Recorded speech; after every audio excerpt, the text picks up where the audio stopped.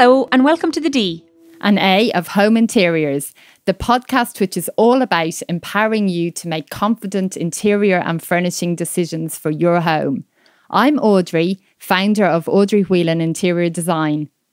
And I'm Deirdre, founder of ufurnish.com, such 100 plus furniture retailers on one website.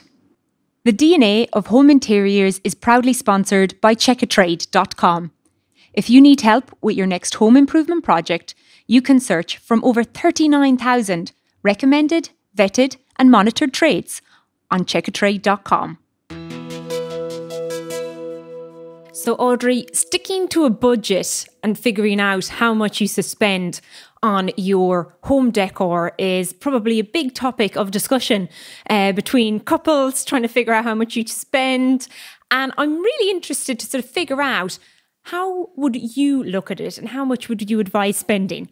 And now, the reason that this interests me so much is that if we think of buying a house, I think most people they go to the bank and they figure out how much of a mortgage that they can get, and let's say it's 400k, they're pretty much looking for a house for your max budget at 400k. Now, none of us go out when we're looking to buy our car and think, I'm going to buy the most expensive car that I can possibly get a loan for. So, uh, so we're not all driving around in Aston Martins. So, where does furniture and your home decor project fit within that spectrum? How do people decide how much they're going to spend? Yeah, really good question. Yeah, well, I mean, the truth of the matter is, from my experience anyway, a lot of people don't really think about it um, until they've made that commitment to the mortgage and the house. And then they start to realize actually how much this is all going to add up to. Um, but often those people still have found one or two items that they have their hearts set on. So that might be that they really want to wallpaper a particular room in this paper they've seen that's like a hundred pounds a roll or something, um, or a hundred pounds a meter for that matter, God forbid. Um, or they've seen, you know, a sofa in a shop window that they really want, but it's quite an expensive one. And they're so tempted to just dive in and commit to these one or two things that they've seen. But actually, if they do, then, you know, they're finding that the rest of what they really, really need in their home will either have to wait or will have to be compromised because they've um, prioritized, you know, a certain few items. Um, uh, at a much higher cost. So, what I always advise people to do, um, as painful as it sounds, is to uh, start a spreadsheet and to write down every single item that they are going to need or want, um, or both, um, in that property. So, room by room, writing down. And so, I'm saying, uh, like, I'm looking at one of my lists here, like for a reception room, and we've got large sofa, we've got two armchairs, we've got an ottoman, we've got a rug, we've got a side table, we've got a floor lamp, we've got a table lamp, we've got a pendant light, we've got a mirror for the chimney breast, and we've got some cushions. So, they're the key items that would need to go in. Now, they're the things that would be purchased, but then, of course, depending on the condition of the property, there might be some labor costs needed as well. So perhaps the room needs to be decorated, perhaps a new floor needs to go in. So, you know, are you going to do the decorating yourself? Um, if you've got the time and the skill to do so. Um, if that's the case, then you know on your spreadsheet you need to enter the cost for paint and for you know general materials uh, for carrying out that work. If you're not doing it yourself, then obviously you need to add in a line for the cost for somebody else to do it. So when you've got the list of all the things that you require for each room, and you could just start with one room to begin with to take it sort of piece by piece.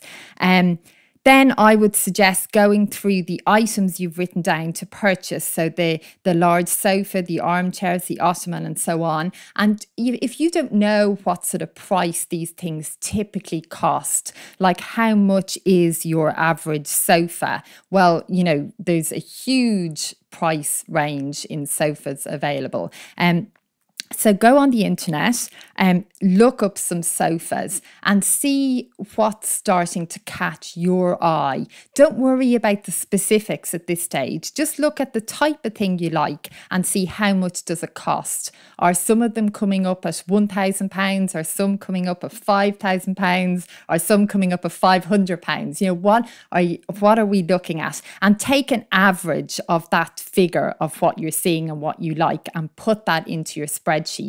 And then go through through each item and do the same thing. Now, it might be for some items that there's actually something you have seen, like I mentioned earlier, like something in a shop window. Maybe you've seen an amazing rug and you know that it costs £800. Put that in. And then when you've completed that exercise, if you don't need to do any uh, workmanship, obviously it's a slightly easier exercise because you can just look at the costs that you've found, add those costs up, or let Excel or whatever you're using add them up for you, um, and see what that total is coming to, and see if you're shocked by that total. And if you are, and if you feel like that's too much, then obviously you're going to have to reevaluate. So when you looked at all these items online to get these guide prices, um, you will have been aware that there would have been lower prices and higher prices. So you'll start to see that to come down in price then uh, of your total spend, you're going to have to go back and work a bit harder on some of these choices. But at least if you can arrive at an overall budget that you feel comfortable with, then you know that you can achieve somehow or other, you know, the items that you want to put in that space. Now, if you have workmanship to include in that, what I would suggest at this stage, if you're not doing the work yourself, is that um, you get some quotes. So we did actually record a podcast episode a while ago about getting quotes from tradespeople uh, with our guest from Checkatrade. And um, you know, the purpose of this at this early stage would be that you could factor that into your budget. So I think what's really useful here is that if you've got a decorating cost, say for that room, it's looking at like um, £700 to decorate that room, you put that cost in. Maybe you don't really, really need to decorate the room, but you've got that cost. You can weigh it up against all the items you'd ideally like to buy. And if the budget is too high, another way to approach it is to say, well, actually, let's spread this out over time. So I am going to do the decorating, but I'm going to hold off on getting a few of those accessory items and the rug and the lighting, you know, for a bit further down the line or, as I said, if you don't really feel you need to decorate, then perhaps you'll buy the items, and in a you know a couple of years' time, perhaps you will then um you know do do the decorating work. So that that's phenomenal, Audrey, and I think that's a really sort of clear process and a nice process to follow. That's very uh, simple and understandable. But what I'm keen to understand is that so I've put all the items together and let's just say I'm decorating my my living room as you suggested there and it, all those items come out at 10,000. You know, is 10,000 a good amount to spend? Is it too much to spend? Do I start off with the figure roughly in my head before I actually pull that whole list together? How do you find that people get comfortable with an item? Because if I've never furnished a room, as an example, I literally don't have ideas. 10,000 a lot of money to spend or yeah, I should be so, spending 5 or maybe I should be spending 20. So funny that you have picked that number 10,000 out because often when it's a living room um, and people ask me how much on average does it cost to furnish a living room, I would say well you could very easily spend 10,000 pounds. So that's not difficult. But that's not to say that you can only do it if you have 10,000 pounds to spend. So it's really all about, you know, what you're happy with in terms of those individual choices. There's some really, really reasonable things out there, but you will be weighing up, you know, the quality and how long it's going to last you, and maybe, you know, uh, sustainability for some people might be an important one. So everybody has their own kind of priorities in terms of what's important to them. So, for example, a sofa you're going to sit on, it's going to get loads of wear and tear. Uh, something like, um, a uh, and maybe a side table or um, a, a lamp on a table or a floor lamp. These are items that won't get as much wear and tear. And um, so arguably sort of spend the money on the things that maybe, you know, need to last and need to be a bit more harder wearing. And the other things, you know, will probably last just as long because they won't have had to kind of work as hard. So you can prioritize things in that way. But I would say, you know, it, it's pretty impossible most of the time to just kind of have a figure in your head just that you pluck out of the sky. Um, yeah. So I think, you know, the value in this exercise is arriving at that figure, but also it's having the sum of the parts, if you like. It's having like the individual um, components uh, that get you to that figure. And I think you have a better sense of control then over your spend because you can tweak or remove or defer elements of that. Uh, so it's not just can I afford that total of 10K or can I not afford it? You know, as I said, you can spread things out, and that's another approach. Yeah. So, what I find really interesting about what you've just said, I think there's two things. And the first is that you're right. You don't have to get everything the most expensive item. And I always think that maybe it's the sideboard or the side table. So it's in the background, it's um, going to be there for a little bit of storage, but actually it's not going to be used very often. So I'd rather spend more money on my sofa that I'm going to be sitting on. I want it to be super comfortable. So I'm willing to splurge on that item.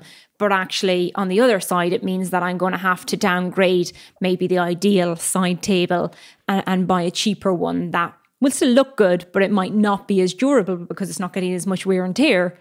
That's probably okay. Yeah, absolutely. And and you know, then also it might be that, you know, you've got somebody who can maybe give you a few things that they no longer need or you find some secondhand things or some things on free cycle or something. But in the same vein, they mightn't be the things that are your absolute ideal, but they might be placeholders. So, yeah. you know, like to say, oh, just don't have a side table and just don't put that lamp on anything and so on. You know, I mean, it's nicer to live with the functionality of having these things. But if, say, visually or materials wise, you know, they're not absolutely what you want, then, you know, have the placeholder there so you can get on with your life and use use the room in a functional way, knowing that in time, you know, you're going to be able to uh, upgrade those things. And I mean, I think that's the value of also, you know, thinking through what it is you would like. So, I mean, as you know, Deirdre, I would be like working through the process simultaneous with the budget as to how these things actually look and feel? What are they in the room? Because therefore, you're creating that vision of what it is you're hoping to achieve and what you will achieve. But you know, if you're spreading that out, you don't then need to worry. Oh, you know, I've got this old battered side table, and I really want the other one. It's like, no, you'll yeah. get there. You'll get there. Just you know, the big borrow, and steal yeah, approach. Yes, yeah, yeah. Quick shout out for our sponsor, checkatrade.com. Search recommended tradespeople online with checkatrade.com. I also think a big part of it is, and I was guilty of this, Audrey. Um, when I first moved in, I was going to fill the room with furniture. So made an offer on a place, and in that three months that all the legal stuff was happening, God knows what is happening. Um, I had decided I'm going to have a sofa and I'm going to have a bookcase and then I'm going to have a side table, then I'm going to have a console table, and this is what I'm going to do here. And by the time I got in, I actually realized there wasn't space for all of that furniture. So, do you want it to be, you know, super cluttered or maybe take a step back and take some time? I'm a very big advocate of that because I would have done it wrong if I'd gone out and bought everything on day one. So, the other thing I, I think is really important, and particularly for first time buyers when you're doing this for the first time, is that you don't need to buy every item of furniture on day one. So, you can wait till next month till you get that paycheck and then buy your side table. And then in month two, with your paycheck, then go buy the rug so don't feel the need to have it picture perfect from day one. So maybe just do your purchases in that way. And the other thing, Audrey, and I don't know how many uh, people that you see doing it, but there's actually great options available um, to buy on finance as well. And I'm, I'm thinking of, of myself here. And um, when I bought my sofa, um, it had four years interest free credit. So I was like, this is amazing. I've just moved in. I've got all of these expenses, paying stamp duty, whatnot. All of a sudden, my money is less than I thought it would be. So it enabled me to have things in my apartment much quicker than I probably could have done if I had to buy them outright. Do you see many people make use of those types of uh, facilities?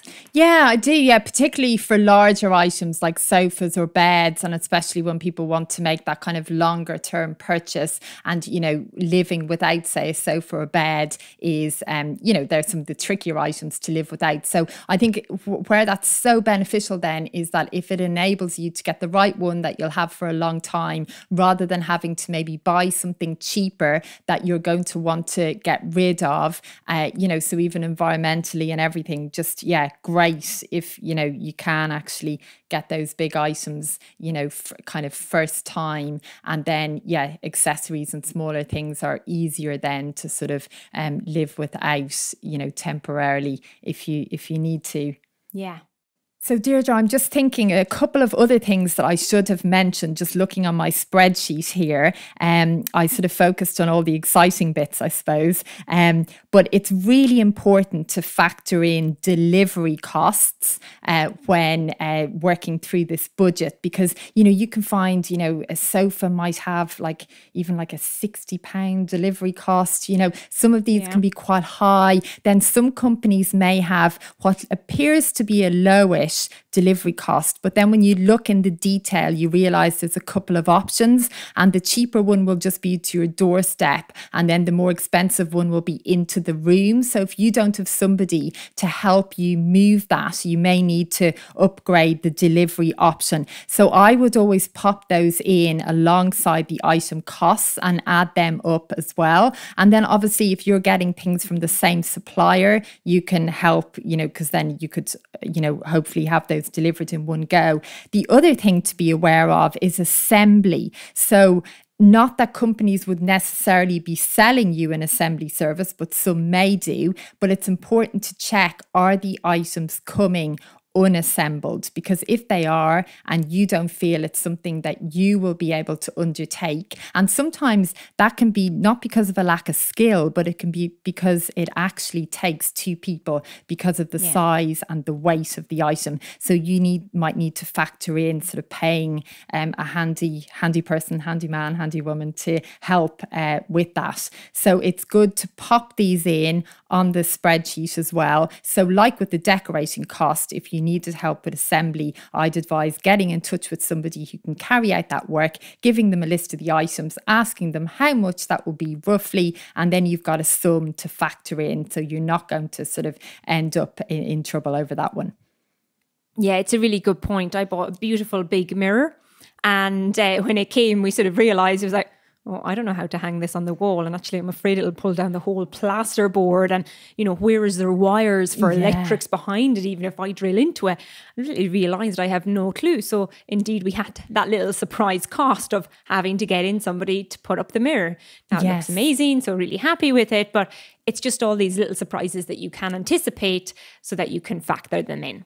And actually, that's a really co- good point, Deirdre, because, you know, if you are getting somebody to assemble your furniture, then you may as well factor in, you know, hanging any large items on the walls as well, or in fact, any items, because, you know, like with all these things, if you're getting it all done as one job, the economy of scale is going to yeah. be much greater than suddenly realizing um, in the nick of time that you need somebody to hang one mirror. And that's going to feel like a lot more money mm. to spend than if you've got a whole list How much? of jobs than the mirror. Yes, yes, yes. Which is understandable if somebody's got to travel, do it, yeah, travel back. Yeah. But if you're giving them a half day's work to assemble a whole load of things, then you'll really feel, you know, you've gotten great value. And I have to say, on projects before, whenever I've used um, people to assemble furniture, I just feel like it's the best thing ever because it would take me probably, you know, a whole weekend to assemble, you know, a couple of items. And then these people come in and they do it like in a couple of hours. And you just think, oh, how efficient important. So where that. can you find those people, Audrey? Where would you recommend people? So look? I would recommend finding a handyman. So um, I have a handyman that I use um, quite often.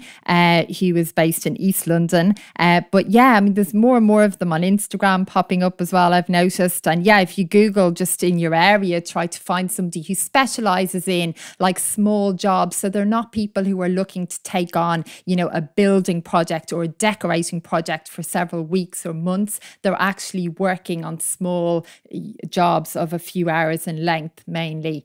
Um, so yeah. they're great people to get in touch with. Indeed. And actually, Checkatrade usually has a very good list as well. If anybody wanted to go on there, yeah. you can see the recommendations of people in, in your local area. So, one last question for you, Audrey. Um, what advice would you give to the first time buyer out there? Um, they probably can't do your spreadsheet list. They can, but I'm thinking in terms of they've got limited money. You've just paid the biggest amount of money ever in terms of a deposit. Your bank account has probably never been bigger just before it, before it gets completely wiped out. And you've got a full apartment or, or house to, to furnish, and you're on limited budgets. So they probably are starting off with quite a strict budget. So it might be 10K to you know, furnish three, four rooms. What advice would you give to people when you're on a really tight budget like that? Is there any top tips?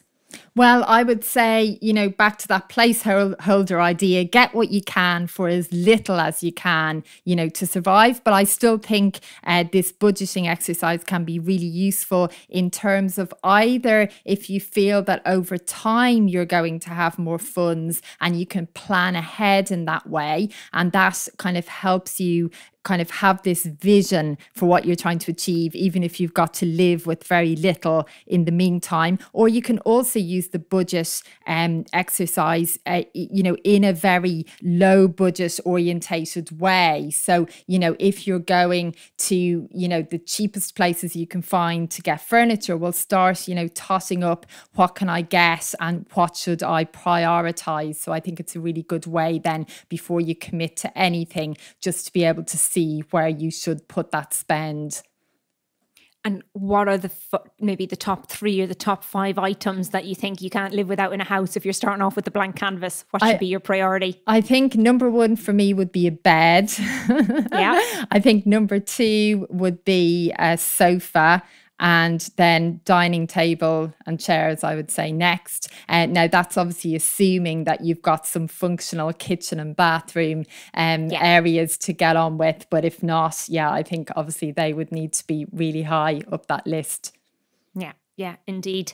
And don't be ashamed if, like me, you need to spend three months on a blow up mattress because uh, I just didn't get around to actually ordering a bed. And then I went in reverse, Audrey. So then I then got a sofa bed and I slept on a sofa bed for about another month. And then I finally got a bed. And, you know, my excuse is actually pretty pathetic. I was actually working so much that I just didn't have a chance. And it's like that thing where you don't want to buy something really impulse. So um, if you need to do that, you know, it's it's a story to tell in the future future. So um, don't feel rushed into buying anything. If you enjoyed our podcast, we would be delighted if you could rate, review, and subscribe on your favourite podcast provider. This will help others who are seeking home and furnishing advice and inspiration discover the DNA of home interiors. You can find us on Instagram, Facebook, YouTube, and Twitter at the DNA of Home Interiors. If you are looking for inspiration and help in designing your home interiors, take a look at Audrey Whelan's masterclasses on audreywhelan.com slash events. And don't forget to check out ufurnish.com, a search and comparison website which helps connect people with amazing furniture from over 100 retailers. We designed it to solve the problem we and thousands like us faced furnishing our homes. And now we are really excited that everyone can search, discover, compare, and shop for their home all in one place. Thank you to our sponsor, checkatrade.com, for their support in bringing this episode to you. And most importantly, thank you all for listening today. We hope you can join us next time.